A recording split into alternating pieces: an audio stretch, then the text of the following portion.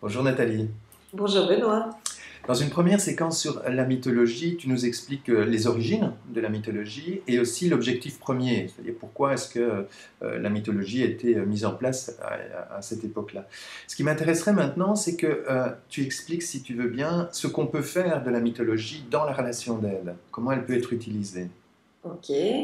Ben, la mythologie, parce qu'elle donne d'autres histoires nous permet d'avoir un autre point de vue sur certaines choses qu'on vit à répétition. Par exemple, je te donne euh, un, exemple concret, quelqu'un qui se plaint d'avoir souvent euh, plein de projets mais qui n'arrive pas à les mener à terme, par mhm. exemple. Il va te dire, je, voilà, je commence plein de choses et jamais je n'arrive à concrétiser ce que j'ai commencé. Eh bien, ça, c'est le mythe de Pénélope. C'est-à-dire que Pénélope, c'est cette femme fidèle à Ulysse qui est partie pendant dix ans faire la guerre de Troie.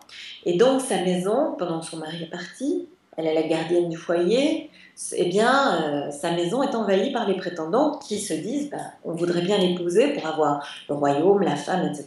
Bon. Elle dit ok, euh, je veux bien appartenir à l'un de vous quand j'aurai terminé la toile que je suis en train de tisser. Mhm. Alors, euh, les prétendants se calment, se disent OK, donc quand elle aura terminé sa toile, elle choisira un nous.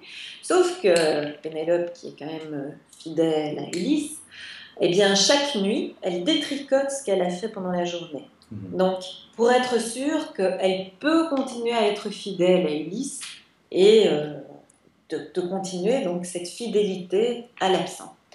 Donc, quand on a ce genre de problématique, de ne pas aller jusqu'au bout de ce qu'on a commencé, on peut aller chercher quelle est cette fidélité à l'absent.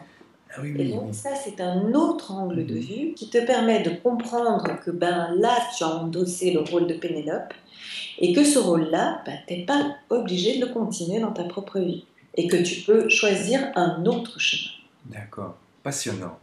Euh, euh, et on a un mythe majeur qui nous, qui nous fait vivre, qui nous fait avancer ou est-ce que on, a des mythes majeurs à certains moments de notre vie, mais je, je pense que à chaque moment de notre vie, on a une myriade de mythes qui peuvent nous dire, euh, qui peuvent nous apporter des solutions, parce qu'en fait, ce ne sont que des histoires racontées et qui détricotent une mmh. histoire de vie.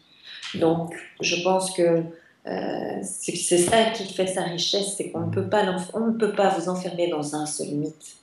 Sinon, ça serait excessivement réducteur. C'est une myriade de mythes qui vous apportent différentes visions de ce que peut être notre labyrinthe intérieur. C'est passionnant. Merci beaucoup, Nathalie. Avec plaisir.